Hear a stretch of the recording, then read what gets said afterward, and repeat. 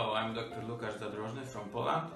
I'd like to invite all of you to the 26th uh, National Conference of Indian Society of Oral Implantology in Mumbai at the end of this month where I'm gonna speak about guided implantology from planning to clinical performance.